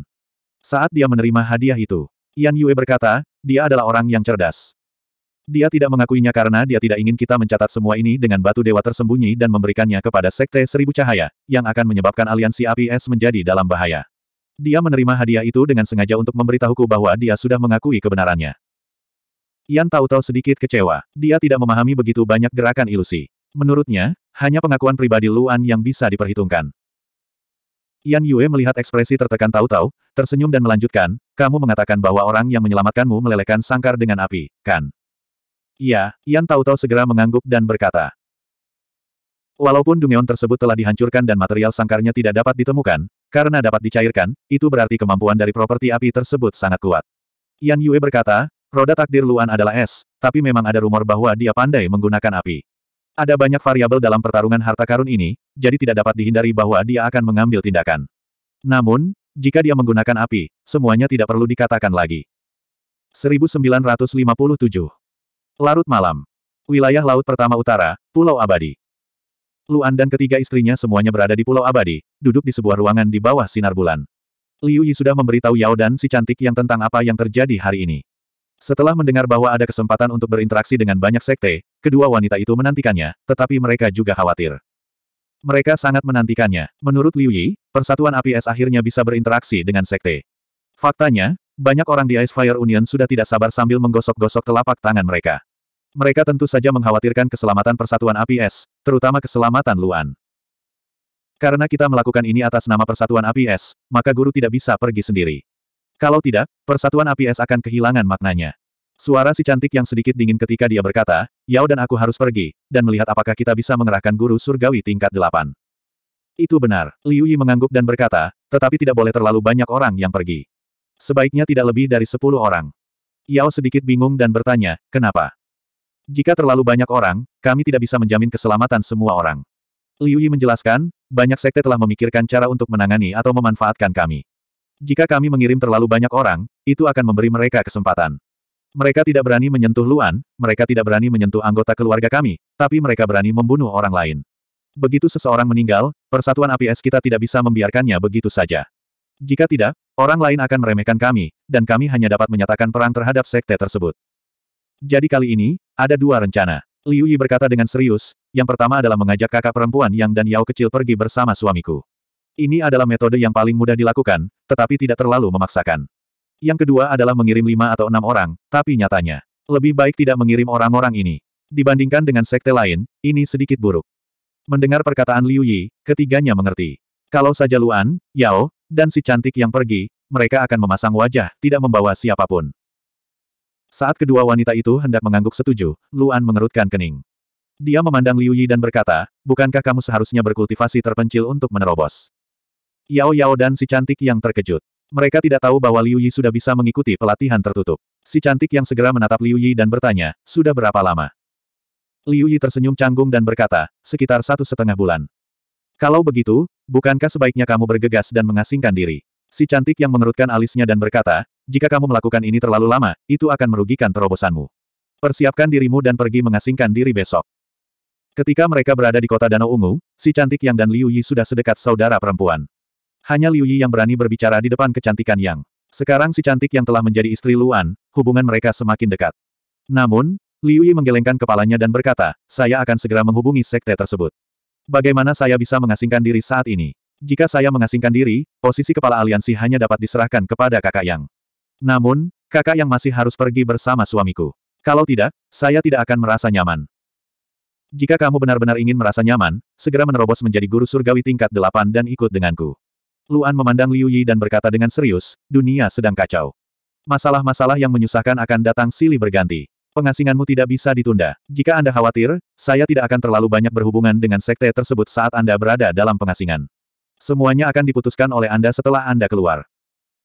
Yao Yao mengangguk setuju dan berkata, teroboslah dengan cepat agar kamu tidak menunda kultivasimu di masa depan. Nyonya memberimu warisan terbaik. Semakin awal Anda menyerapnya, semakin baik efeknya. Hanya dengan begitu Anda dapat mencapai ketinggian asli pewaris. Selain itu, KKI adalah master sekte dari pavilion orang suci surgawi. Meskipun ketua aliansi adalah hal utama saat ini, Anda masih harus mempertimbangkan perasaan para tetua dan murid di sekte tersebut. Mendengar mereka bertiga mengatakan ini, Liu Yi lemah dan hanya bisa mengangguk tak berdaya. Memang benar, dia telah terlalu lama menekan terobosannya. Jika dia terus menekannya, dia merasa kini tubuhnya akan segera menghancurkan tubuhnya. Kalau begitu kakak Yang, kamu bisa menggantikanku sebagai ketua aliansi. Liu Yi memandang kecantikan Yang dan berkata. Oke, si cantik yang merespons dan menoleh untuk melihat ke arah Luan dan Yao. Mata indahnya dipenuhi kekhawatiran. Dia berkata, apakah terlalu berbahaya jika hanya kalian berdua yang pergi? Tidak akan. Luan menggelengkan kepalanya dan berkata, aku memiliki Fu Yu di belakangku, dan Yao memiliki Sengoku di belakangnya. Sekte-sekte itu tidak berani menyinggung salah satu dari mereka. Kata-kata Luan sangat lugas. Dia selalu tahu apa yang diandalkan untuk bertahan hidup sampai sekarang. Dia tidak pernah menyangkalnya, tapi dia pasti tidak akan menyia-nyiakan sedikit pun waktu, dia juga tidak akan menyia-nyiakan usaha Fuyu. Tak lama kemudian, mereka berempat memutuskan rencana awal operasi ini. Luan dan Yao akan pergi pertama kali. Bagaimanapun, perburuan harta karun ini mungkin akan berlangsung untuk sementara waktu. Jika mereka perlu pergi lagi, mereka akan membawa lebih banyak orang. Tanda pisah tanda pisah tanda pisah. Tanda pisah tanda pisah tanda pisah. Keesokan harinya, siang hari. Liu Yi secara resmi mengasingkan diri di Pulau Surgawi. Pulau Surgawi dilindungi oleh susunan yang dibuat oleh Yue Rong.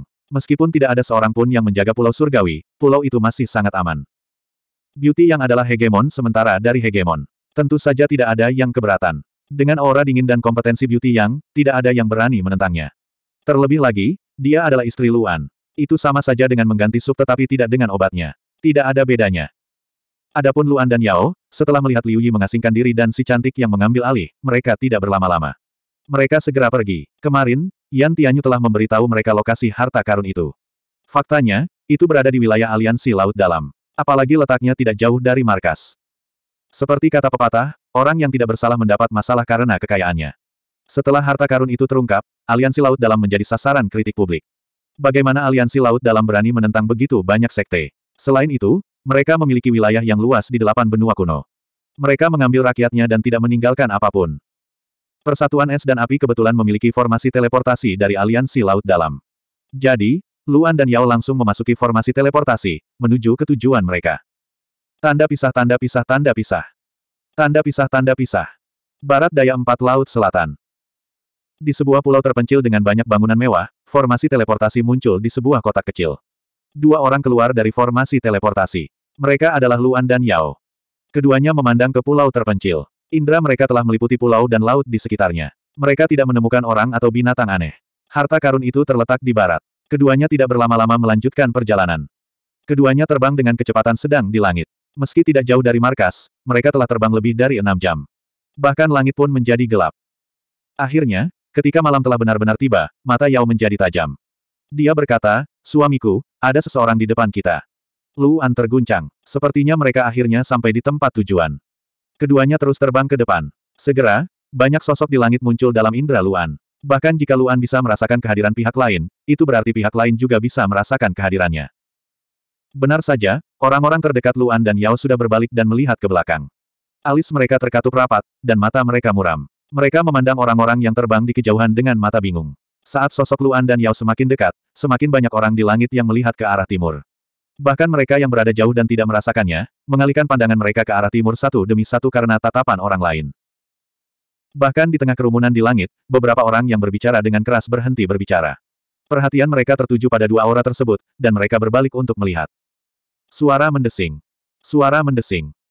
Di bawah pengawasan penonton, kedua sosok itu akhirnya muncul dan memasuki lingkaran kerumunan. Akhirnya keduanya berhenti di tengah lingkaran kerumunan. Mereka tidak berada di depan maupun di belakang. Mereka tidak tinggi dan tidak rendah. Meski begitu, mereka sangat eye-catching dan menjadi fokus perhatian semua orang. Langit malam yang awalnya berisik, menjadi sunyi dalam sekejap. Setiap sekte dan setiap orang melihat kedua orang yang telah tiba. Mata mereka menunjukkan cahaya yang rumit. 1958 Di permukaan laut, setidaknya ada seribu orang. Ribuan orang berputar-putar di langit, membentuk cincin besar dengan diameter setidaknya 50 ribu kaki. Di antara ribuan orang, terdapat hampir 300 guru surgawi tingkat 8, sedangkan 700 lainnya adalah guru surgawi tingkat 7. Adapun banyaknya sekte yang hadir terlihat dari kelompok masyarakat yang terpecah belah. Dalam formasi besar berbentuk cincin, ada total 8 kelompok. Dengan kata lain, ribuan orang ini berasal dari 8 sekte berbeda. Namun, kalaupun ada 8 kelompok orang, itu bisa dilihat dari posisi kelompoknya. Kita harus tahu bahwa sekte-sekte tersebut telah membentuk aliansi. Selama itu bukan dendam pribadi, mereka akan bertindak bersama-sama asalkan berkaitan dengan keuntungan. Saat ini, delapan sekte tersebut terbagi menjadi tiga kubu. Dua kam memiliki tiga sekte, sedangkan kam lainnya hanya memiliki dua sekte. Mereka jelas-jelas dirugikan. Sebelumnya, perwakilan dari delapan sekte sedang bernegosiasi di tengah formasi besar berbentuk cincin. Namun, negosiasi terhenti tiba-tiba, dan orang-orang dari delapan sekte melihat ke arah timur. Ribuan orang yang hadir juga melihat ke arah timur. Seorang pria dan seorang wanita. Dua angka. Pria itu mengenakan jubah hijau muda. Pakaiannya sederhana dan pas, tapi jelas itu bukan pakaian biasa. Rambutnya tidak panjang. Dibandingkan dengan rambut panjang kebanyakan pria, rambut itu sudah sangat pendek. Tidak ada sehelai rambut pun yang menutupi dahinya. Seluruh tubuhnya memancarkan aura yang tak terlukiskan, memberikan perasaan yang sangat tenang. Sedangkan untuk wanita, dia benar-benar berbeda dari pria yang tidak mencolok. Dia bisa digambarkan sebagai sosok yang mempesona, seperti peri yang turun ke dunia fana. Jubah putih ikonik sengoku berkibar di langit seiring dengan angin sepoi-sepoi. Jubah putih ini bukanlah putih biasa, melainkan putih yang dipenuhi pola khusus, seolah dipenuhi aura keabadian. Dan wajah cantik ini jauh lebih cantik dari jubah putih ini. Manusia selalu mengatakan bahwa pakaian membentuk seseorang, tetapi saat ini, wajah cantik inilah yang memungkinkan jubah mencapai peningkatan kualitatif. Di bawah kendalinya, bahkan bulan terang di langit pun tertutupi. Semua orang memandang Yao dengan bingung. Menurut pendapat mereka, bahkan peri yang turun ke dunia fana tidak dapat menandingi kecantikannya. Bagaimana mungkin mereka tidak mengagumi penampilan wanita seperti itu? Namun, seseorang yang dapat berkultivasi hingga tingkat seperti itu kurang lebih memiliki pengendalian diri yang baik. Semua orang menarik napas dalam-dalam untuk menenangkan diri. Dari temperamen unik wanita ini, tidak sulit bagi mereka untuk menebak siapa dia. Namun, kemunculan kedua orang ini secara tiba-tiba sungguh terlalu mengejutkan. Luan dan Yao berada di tengah-tengah kesenjangan besar antara kedua kubu. Tidak ada seorang pun di kedua sisi. Setelah mereka berdua tiba, mereka tidak melakukan gerakan apa pun. Mereka hanya mengamati dan menyikapi setiap perubahan dengan tetap tidak berubah. Pada saat ini, di tengah cincin besar di langit, salah satu dari delapan orang berbicara lebih dulu. Dia menangkupkan tangannya dan berkata dengan keras, saya sudah lama mendengar tentang reputasi hebat Putri Sengoku. Sekarang setelah saya bertemu dengannya hari ini, saya dapat melihat bahwa dia memenuhi reputasinya. Suaranya segera menyebar jauh dan luas di malam yang gelap, dengan cepat dan jelas mencapai telinga semua orang. Ketika ribuan orang yang hadir mendengar ini, hati mereka bergetar. Dia hanya menyebut Putri Semoku tapi tidak menyebut nama Luan. Jelas sekali dia memprovokasi Luan. Di antara delapan orang tersebut, perwakilan dari Misty Rain Sek juga hadir. Itu adalah Yan Che. Yan Che melirik pria yang baru saja berbicara. Pria ini bukanlah tetua inti dan tidak berhak mengetahui keberadaan klan Hachiko. Jika dia tahu, dia pasti tidak akan mengatakan itu. Tentu saja, dia pasti tidak akan mengingatkan pria ini untuk memperhatikan perkataan dan tindakannya. Sebaliknya, dia sangat ingin menonton pertunjukan yang bagus. Namun, yang mengecewakannya adalah meskipun pria ini hanya menyebut Yao, tidak ada nada menggoda di nadanya. Dia hanya mengabaikan Luan. Di kejauhan, Yao menoleh untuk melihat Luan setelah mendengar kata-kata pihak lain. Mata Luan dipenuhi kilatan dingin.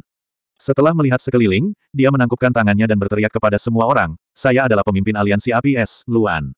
Kali ini, saya di sini bukan untuk bersaing dengan Anda untuk mendapatkan harta karun itu. Saya hanya mendengar berbagai sekte berkumpul di sini, jadi saya di sini untuk mengamati dan belajar. Suara Luan menyebar jauh dan luas di langit dan masuk ke telinga semua orang dengan jelas.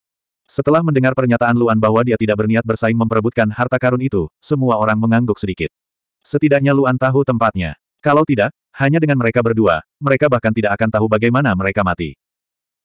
Namun, masalahnya adalah perkataan Luan sama sekali mengabaikan pria yang baru saja berbicara. Ekspresi pria itu langsung berubah jelek. Ia berinisiatif untuk menyapa Putri Semoku, namun Putri Semoku jelas tidak berniat untuk memperhatikannya. Semua orang tahu bahwa Putri Semoku dan Luan sudah menikah, tapi Luan tidak memperhatikannya sama sekali. Bagaimana dia bisa melepaskannya begitu saja? Yan Che melihat wajah memerah pria itu dan tidak bisa menahan cibiran.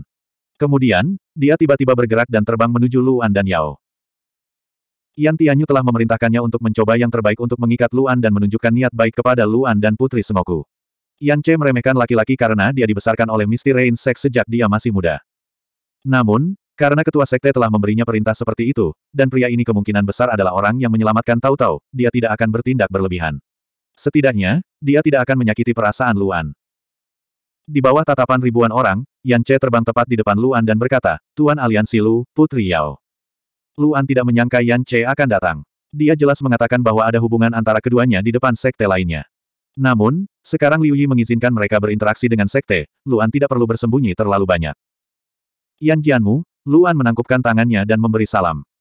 Aku tidak menyangka kalian berdua akan datang selarut ini. Kukira kalian tidak akan datang. Saat dia berbicara, Yan Che menoleh untuk melihat Yao. Meskipun dia meremehkan laki-laki, dia sangat menghormati ahli wanita seperti Yao. Dia bertanya, apakah kalian berdua benar-benar tidak akan ikut campur dalam perburuan harta karun? Benar, kata Luan sambil mengangguk. Kalau begitu, kenapa kalian berdua tidak menjadi tamu di Misty Rain Sect? Yan Che berkata, Putri Yao tidak pernah berhubungan dengan sekte-sekte tersebut.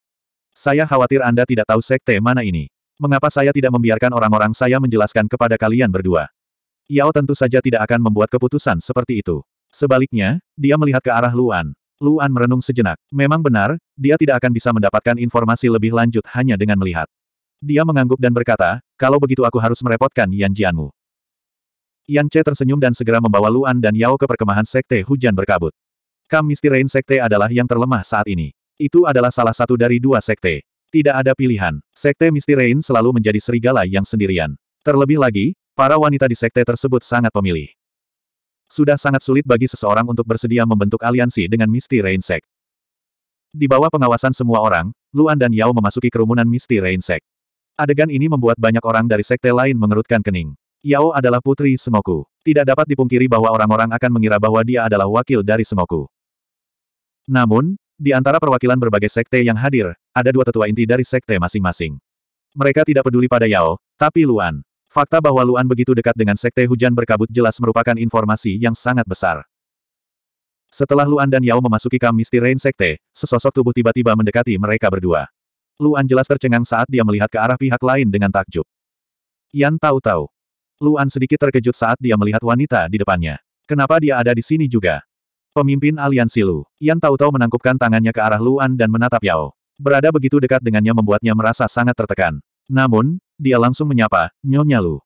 Yao mengangguk sedikit. Luan berkata, mengapa Nona Yan ada di sini juga? Ini masalah sekte. Jika para tetua ini bisa datang, tentu saja aku juga bisa datang, kata Yan tahu-tahu pada Luan. Bibi Tianyu memintaku untuk menjelaskan berita sekte itu kepadamu. Luan sedikit terkejut. Faktanya, dia tidak ingin terlalu banyak berhubungan dengan Yan tahu-tahu. Namun, karena keadaan sudah seperti ini, dia tidak bisa menolak permintaan Yan tahu-tahu untuk meninggalkan kam sekte hujan berkabut. Dia hanya bisa mengangguk dan berkata, terima kasih, Nona Yan. Yan tahu-tahu mengangguk. Dia juga memperhatikan untuk menjaga jarak dari Luan. Dia berbalik dan menunjuk ke sekte terdekat, yaitu sekte yang bersekutu dengan sekte hujan berkabut. Dia berkata, sekte Misty Rain hanya bersekutu dengan satu sekte. Ini adalah sekte ini, sekte Huayue. Sekte Huayue. Luan tercengang. Ini adalah sekte lain yang belum pernah dia dengar. Dia tidak bisa menahan diri untuk tidak menoleh ke arah Yao. Yao secara alami mengetahui keberadaan sekte Huayue. Dia sama sekali tidak terkejut dengan berita aliansi antara sekte hujan berkabut dan sekte Huayue. Sekte Huayue. Apa roda nasibnya? Luan sedikit bingung. Dari namanya, sulit untuk mengetahui apakah roda takdir itu berasal dari atribut kayu atau atribut lainnya. Roda nasib Sekte Huayue adalah kombinasi atribut kayu dan tanah. Ini adalah kekuatan bunga istimewa. Yao berkata dengan lembut, orang-orang dari Sekte Huayue menyukai musik dan pandai membacakan puisi. Putri Yao memang berpengetahuan luas. Yan tahu-tahu tersenyum dan berkata dengan sopan. 1959. Setelah mendengar penjelasan Yao, Luan terkejut. Dia tidak berbudaya sejak dia masih muda. Paling banyak, dia bisa membaca beberapa kata. Meskipun dia telah membaca beberapa buku tentang puisi setelah masuk akademi, itu masih terlalu sedikit. Selain itu, dia tidak memiliki bakat khusus di bidang ini. Puisi selalu menjadi kelemahannya. Namun, menurutnya semua sekte harus fokus pada budidaya. Ia tidak menyangka akan ada sekte yang menghabiskan begitu banyak waktunya untuk puisi. Ada pepatah di sekte bunga bulan. Yan tahu-tahu melanjutkan perkataan Yao dan berkata, jika kamu ingin meningkatkan kekuatanmu, kamu harus terlebih dahulu meningkatkan puisimu, atau dengan kata lain, landasan sastramu. Hanya dengan meningkatkan puisi Anda, Anda dapat memahami peningkatan roda takdir Anda dan meningkatkan kekuatan Anda. Di antara 31 sekte, sekte bunga bulan adalah satu-satunya yang memiliki pepatah seperti itu. Luan sedikit terkejut saat mendengar ini. Ini mengingatkannya pada Bian King Liu. Bian King Liu pernah berkata bahwa dia mampu berkultivasi hingga tahap ini karena pencapaian sastranya. Dia meningkatkan pikiran dan kekuatannya dengan meniru peninggalan para ahli. Metode ini belum pernah terjadi sebelumnya. Yao juga mengatakan bahwa bahkan 31 sekte tidak memiliki metode seperti itu untuk meningkatkan kekuatan mereka. Luan mengangguk. Dia menoleh untuk melihat sekte lainnya dan berkata, bagaimana dengan enam sekte lainnya? Tiga sekte di sebelah kiri kami adalah sekte Yin Yang Ilahi, sekte Enam Jalan, dan sekte Bangau Abadi. Yan tahu-tahu melihat ke arah Kam di sebelah kiri dan berkata dengan suara yang dalam, di antara ketiga sekte ini, sekte Enam Jalan relatif lebih lemah. Sekte Dewa Yin Yang dan Sekte Bangau Abadi relatif lebih kuat, terutama Sekte Dewa Yin Yang. Jika mereka bertarung sendirian, mereka mungkin tidak akan menonjol. Namun, jika mereka bekerja sama, kekuatan mereka akan meningkat pesat. Bahkan di antara 31 sekte, mereka termasuk yang terbaik. Lebih kuat saat mereka bekerja sama. Luan sedikit terkejut. Dia berkata, keterampilan surga mereka dapat digunakan bersama-sama. Cerdas. Yan tahu-tahu berkata, namun, ada terlalu banyak cara untuk menggunakannya bersama-sama. Ada lebih dari satu cara. Ada variasi yang tidak ada habisnya. Saya tidak bisa menjelaskan semuanya sekaligus. Saat dia mengatakan ini, Yan Taoto melihat ketiga sekte di sebelah kanan dan berkata, ketiga sekte ini adalah sekte surgawi, sekte suancong, dan sekte keajaiban surgawi. Luan kaget saat mendengar ini. Sekte suancong. Tentu saja, dia ingat sekte suancong. Dialah yang merebut Seng, Er dari sekte suancong. Nama tetua itu adalah Zhong Weiping, dia mengingatnya dengan jelas. Selain itu, reputasi Sekte Suancong tidak baik. Meskipun tidak sebagus Sekte Seribu Cahaya, masih banyak musuh Sekte Suancong di Persatuan Es dan Api. Beberapa dari mereka bahkan melarikan diri dari Sekte Suancong. Namun, saat Luan sedang melihat Sekte Suancong, tatapannya tertarik oleh seorang tetua dari sekte lain yang berdiri di depan. Luan memandangi yang lebih tua, dan yang lebih tua dengan jelas juga melihat ke arah Luan. Luan, pernah melihat orang ini sebelumnya. Luan mengerutkan alisnya dan berusaha sekuat tenaga untuk mengingatnya. Setelah dua napas waktu, tubuhnya bergetar ketika dia tiba-tiba teringat. Pria ini bukanlah orang asing. Dia adalah salah satu dari lima juri konferensi alkemis delapan benua kuno. Luan tidak salah mengingatnya. Orang ini adalah juri konferensi apoteker, seorang ketua dari Sekte Surgawi, Liang Song. Beberapa ribu zang jauhnya, Liang Song juga menatap Luan di kejauhan. Meskipun persatuan es dan api lemah, namun tetap menjadi sekte terkenal di antara 31 sekte. Bahkan di Sekte Surgawi, Master Sekte dan anggota inti lainnya sangat menghargai persatuan es dan api. Meskipun dia tidak tahu kenapa dan tidak tertarik untuk mengetahuinya, dia harus mengakui bahwa dia sangat tertarik dengan bakat hebat Luan di bidang alkimia. Sekte Suancong, Sekte Surgawi, dan Sekte Langit Aneh relatif biasa. Mereka hanya rata-rata di antara 31 sekte. Yan tahu-tahu berkata, namun, Sekte Surgawi memiliki alkemis terbanyak di antara 31 sekte. Dari titik ini, posisi Sekte Surgawi sangat tinggi di antara 31 sekte. Lagi pula, tidak ada yang ingin menyinggung seorang alkemis. Sekte Langit Aneh juga merupakan sekte khusus. Mereka tidak memiliki teknik surgawi yang kuat. Sebaliknya, mereka memiliki kemampuan paling kuat untuk menjinakkan binatang aneh. Binatang aneh yang jinak. Luan terkejut dan bertanya, apa maksudmu? Artinya menjinakkan binatang aneh dan menjadikan mereka budak dan senjatamu. Mereka akan menjadi salah satu kekuatanmu, kata Yan tahu-tahu. Budak, senjata. Luan sedikit mengernyit. Kesannya terhadap Strange Sky Sex segera menurun. Dia memandang Luan dari jauh dan berkata dengan lembut, aku mendengar ayahku berbicara tentang sekte langit aneh. Ayahku tidak pernah menyukai mereka. Tampaknya metode mereka dalam menjinakkan binatang aneh sangat kejam. Luan semakin mengernyit. Dia tahu bahwa Sengoku selalu menghargai kehidupan. Ini juga mengapa banyak klan binatang aneh sangat menghormati Sengoku. Jika guru ilahi sangat tidak menyukai sekte langit aneh, pasti ada sesuatu tentang sekte langit aneh yang membuatnya kesal. Namun, Luan masih ragu. Dia bertanya, mengapa saya tidak melihat binatang aneh dari sekte langit aneh? Mereka tidak di sini. Ian tahu-tahu berkata, saat pertempuran dimulai, mereka akan membuka formasi teleportasi dan menggunakan Divine Sense yang dikorbankan dari binatang aneh untuk menghubungi binatang aneh tersebut. Binatang aneh tersebut kemudian akan berpartisipasi dalam pertempuran melalui formasi teleportasi. Luan mengangguk ketika mendengar itu. Namun, rasa jijiknya terhadap sekte langit misterius semakin besar. Bagaimana situasinya sekarang? Setelah mendengarkan perkenalannya, Luan mengalihkan pikirannya kembali ke bisnis. Dia bertanya, apakah ada informasi spesifik tentang harta karun itu? Sedikit. Ian tahu-tahu memandangi lautan yang bergejolak di bawah. Lautan menjadi lebih gelap dan menakutkan di malam hari. Dia berkata, Dikatakan bahwa harta karun di bawah ini sebenarnya adalah sisa-sisa klan binatang aneh yang telah punah. Karena selalu tersembunyi di bawah laut, banyak inti kristal dan kerangka yang diawetkan. Luan sedikit terkejut. Tentu saja, dia tahu apa arti inti kristal dan kerangka binatang aneh bagi manusia. Maksudnya pil dan senjata. Binatang aneh kuno dari ras khusus bisa membawa kekuatan baru ke sebuah sekte. Memang itu bukan masalah kecil. Pertanyaan terbesarnya sekarang adalah apakah ada peninggalan binatang aneh level 9 di dalam harta karun itu. Mata Yan tahu-tahu serius. Dia berkata, jika ada, saya khawatir bahkan Master Sekte dan Master Sekte dari Sekte besar harus mengambil tindakan. Luan menarik napas ringan. Mau tak mau dia memandangi lautan dengan sedikit harapan dan minat. Dia memang ingin masuk dan melihat-lihat, tapi pikiran ini hanya terlintas di benaknya. Sekarang, dia dan Ice Fire Union tidak memenuhi syarat untuk bersaing dengan sekte lainnya. Bahkan jika ada peninggalan binatang aneh level 9, bahkan jika dia benar-benar mendapatkannya, dia pasti akan segera menjadi sasaran sekte besar. Luan benar-benar percaya bahwa jika dia memiliki benda berharga di tangannya, Sekte akan menyerang persatuan api es dengan segala cara. Jadi, bagaimana negosiasinya sekarang? Luan bertanya. Ini jalan buntu. Yan tahu-tahu mengangkat bahu dan melihat Sekte di kejauhan.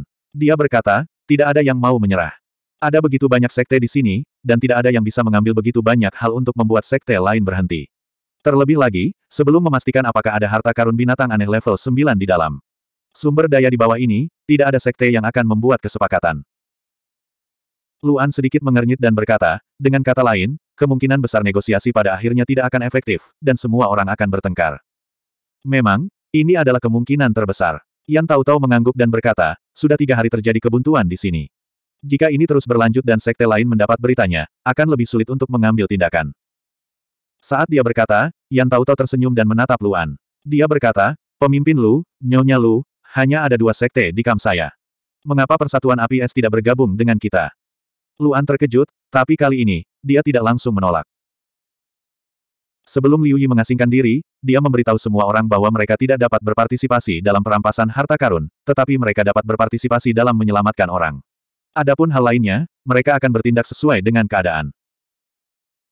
Oleh karena itu, Luan berkata setelah berpikir sejenak, Persatuan Api Es tidak memiliki kekuatan untuk menginginkan harta karun seperti itu, dan pasti tidak akan ikut campur dalam perampasan harta karun itu.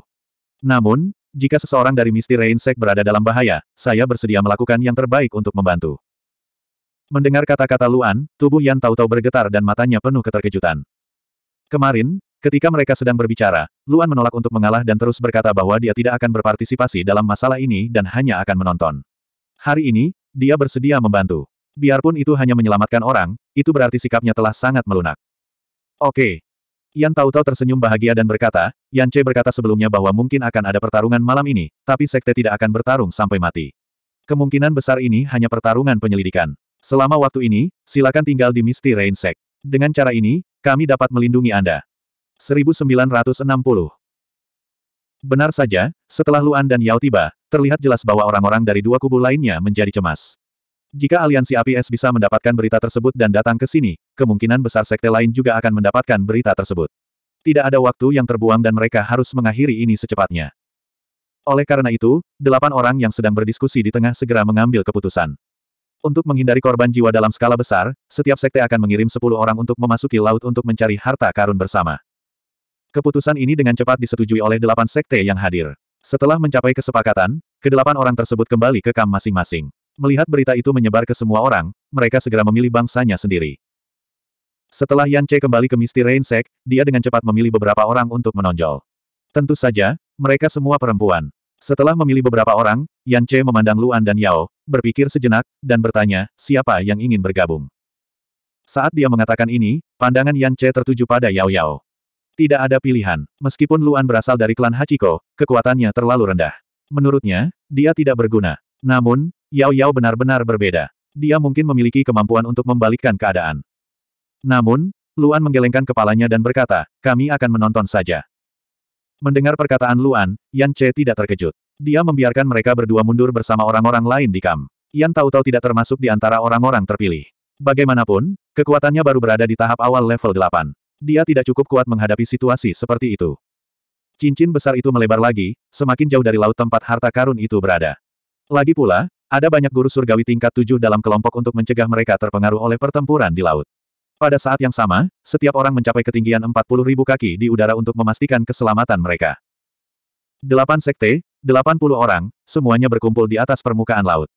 Tidak diragukan lagi, 80 orang ini adalah kelompok terkuat yang hadir. Setelah para pemimpin delapan sekte saling memandang, sosok mereka melintas dan bergegas ke permukaan laut. Gemuruh. 80 orang itu bergegas masuk dan segera menimbulkan gelombang besar di permukaan laut. Di bawah langit malam, ombak besar tampak sangat gelap dan tampak sangat menakutkan. Di langit, Luan melihat pemandangan ini dan menarik napas dalam-dalam. Dia baru saja mendengar dari Yan tahu-tahu bahwa harta karun itu berada di kedalaman 50 ribu kaki di laut. Dari permukaan laut, mereka hanya bisa melihat lautan yang bergulung-gulung dan tidak bisa melihat pertempuran di dalamnya. Tanda pisah tanda pisah tanda pisah. Tanda pisah tanda pisah tanda pisah. Di laut dalam, 80 orang bergerak maju dengan kecepatan tinggi. Orang-orang dari delapan sekte dan tiga kubu dengan cepat menyelam ke laut dalam.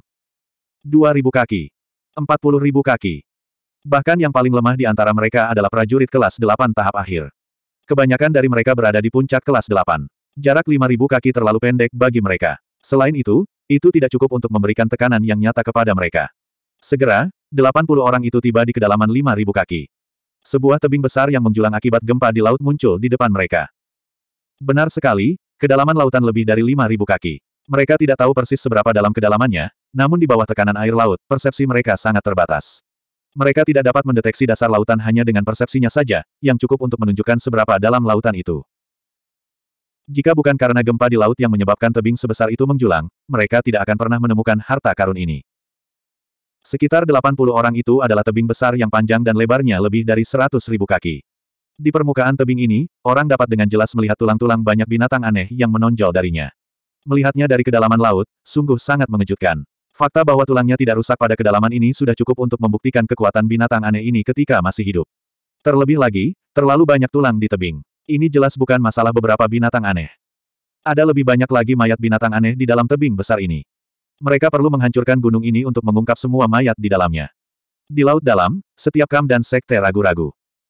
Sejujurnya, mereka tidak tahu apakah lebih baik bertarung dengan kubu lain sekarang, atau menghancurkan tebing besar ini terlebih dahulu dan melihat apa yang ada di dalamnya sebelum mereka mulai. 80 orang telah tiba di sini dan dengan cepat mencapai konsensus. Mereka akan menghancurkan tebing ini terlebih dahulu. Kalau tidak, jika tidak ada sesuatu yang layak diperjuangkan di dalam, tidak ada gunanya menimbulkan banyak korban jiwa. Oleh karena itu, delapan sekte, yang terletak di delapan arah berbeda, mulai menyerang tebing ini bersama-sama. Dalam sekejap, sinar cahaya yang tak terhitung jumlahnya muncul. Kekuatan mengerikan melonjak dari laut dalam dan bergegas menuju tebing. Gemuruh. Karena hantaman keras, tebing itu berguncang dengan keras. Bebatuan di permukaan mulai terkelupas lapis demi lapis. Tapi itu saja. Ketika 80 orang melihat ini, tubuh mereka gemetar. Meskipun orang yang menyerang barusan tidak menggunakan kekuatan penuhnya karena takut merusak mayat di dalamnya, mereka menggunakan setidaknya 50 hingga 60 persen kekuatan mereka. Bagaimana bisa hanya merusak permukaannya sedikit saja? Kita harus tahu bahwa bahkan pertahanan guru surgawi tingkat 8 biasa tidak akan begitu lemah. Tebing ini sebenarnya sangat keras. Semua orang mengerutkan kening. Tebing ini adalah batu karang dari dasar laut. Mungkin karena tekanan laut, bebatuan di dasar laut awalnya sangat keras. Sepertinya mereka harus menggunakan seluruh kekuatan mereka dengan serius. Selain kaget, orang-orang ini juga sangat senang. Fakta bahwa mayat-mayat itu dapat mempertahankan bentuk utuhnya di bawah tekanan bebatuan yang mengerikan sudah cukup untuk menunjukkan nilai dari mayat-mayat ini. Semakin banyak orang, dengan menggunakan lebih banyak kekuatan, mulai menyerang tebing ini untuk kedua kalinya. Gemuruh. Sebuah kekuatan dahsyat meledak, semuanya menghantam berbagai bagian tebing. Tebing itu kembali berguncang hebat. Kali ini memang menghasilkan efek yang lebih besar. Batuan di sekitar ribuan kaki dihancurkan secara paksa, dan dalam jarak seribu kaki ini, mayat yang lebih lengkap terungkap. Mayat-mayat ini diawetkan sepenuhnya. Melihat mereka saja sudah cukup untuk mengejutkan orang. Permukaan tulangnya masih relatif halus dan hampir tidak ada retakan. Bahkan serangan gabungan dari semua orang barusan tidak menghancurkan mayat-mayat ini. Ini cukup untuk menunjukkan betapa berharganya mayat-mayat ini. Segera, mata semua orang berbinar. Bahkan jika tidak ada inti kristal di dalamnya, mayat kuat ini cukup untuk membuat semua jenis senjata. Bahkan bagi sekte tersebut, itu pasti merupakan kekayaan besar. Ketika mayat sebesar itu terungkap, 80 orang itu bergerak bersama. Semua orang tahu bahwa mulai sekarang, ini bukan lagi aksi bersatu, tapi pertarungan. 80 orang itu datang ke tepi tebing dan menggunakan seluruh kekuatan mereka untuk mengeluarkan sebagian besar mayat yang terbuka dan mengambilnya sendiri. Di saat yang sama, mereka terus mengeluarkan kekuatannya untuk menyerang tebing. Ini sepenuhnya bergantung pada siapa yang lebih cepat. Semakin banyak mereka merebut, semakin banyak penghasilan mereka.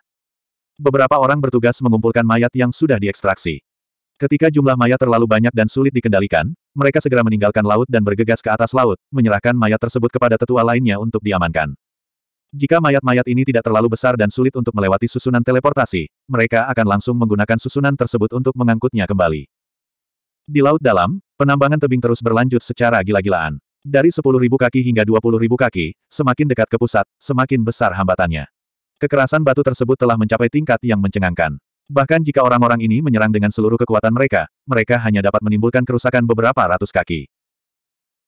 Akhirnya, di bawah serangan gila-gilaan dari 80 orang, lebih dari separuh tebing telah ditambang, hanya menyisakan diameter 50 ribu kaki. Saat ini, semua orang sebenarnya sedikit lelah, tetapi tentu saja mereka tidak mau berhenti.